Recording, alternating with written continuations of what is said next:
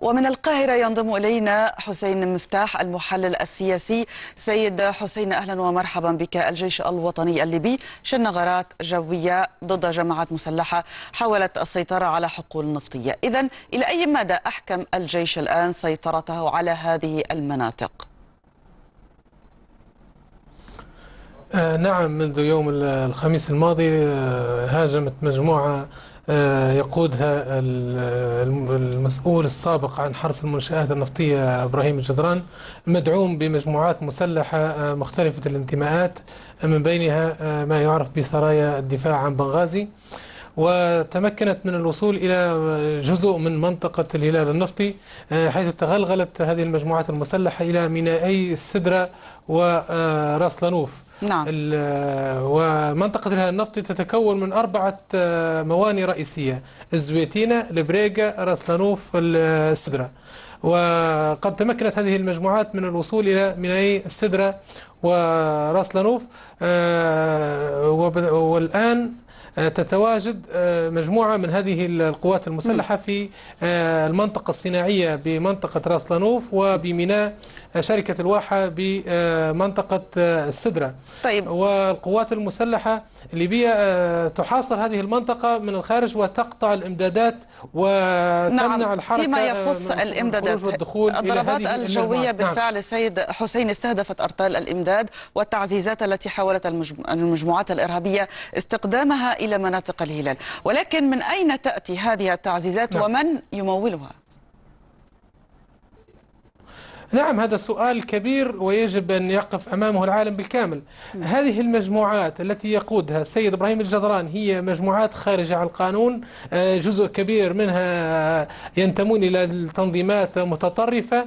وبعض المعلومات تؤكد أن, أن معهم أيضا قوات مرتزقة عبارة عن قوات أجنبية من المرتزقة.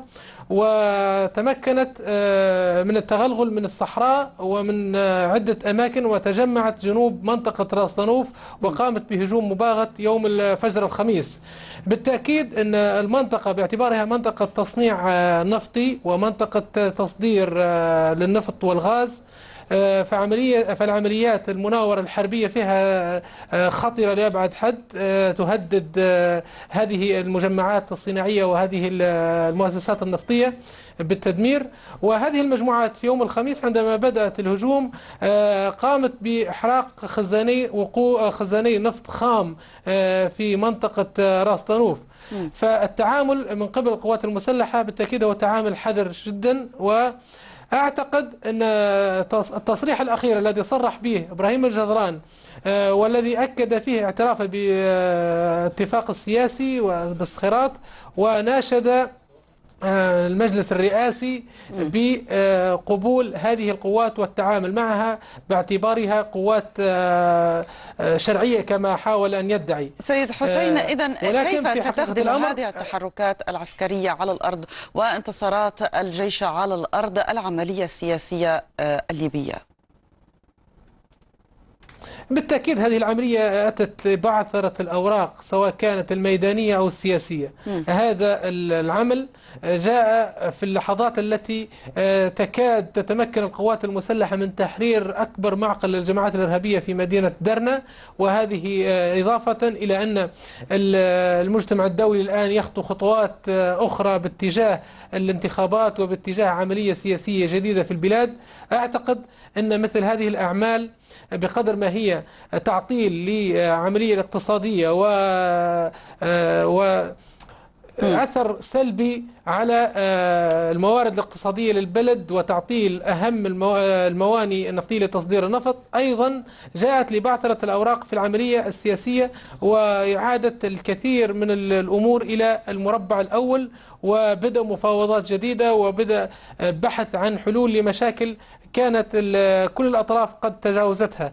الجميع نعم. يعلم بأن القوات المسلحة هي التي كانت تبسط السيطرة على منطقة الهلال النفطي وتتصرف المؤسسة الوطنية نعم. للنفط بتسيير العمل سواء كان الإنتاج أو التصدير أو نعم سيد التكرير وغيرها من العمليات الآن أصبحنا أمام مشكلة جديدة كنا قد تجاوزناها من سنتين تقريبا مم. سيد حسين مفتاح نعم. المحلل السياسي كنت معنا من القاهرة شكرا جزيلا لك